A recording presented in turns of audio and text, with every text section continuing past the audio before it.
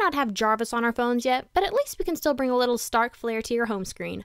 I'm Ara from Android Central, and this is our Iron Man theme.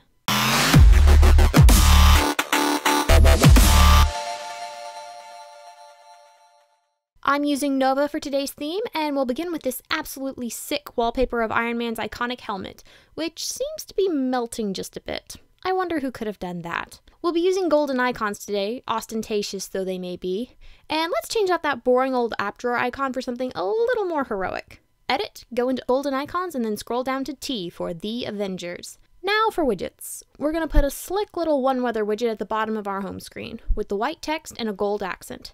And at the top of the screen, we'll put Jack's music widget, set to clear.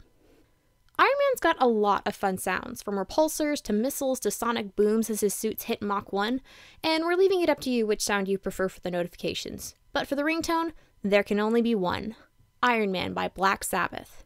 Now you're ready to get up to no good, just like Tony Stark. Just try and stay two steps ahead of everyone else. And go see Captain America Civil War.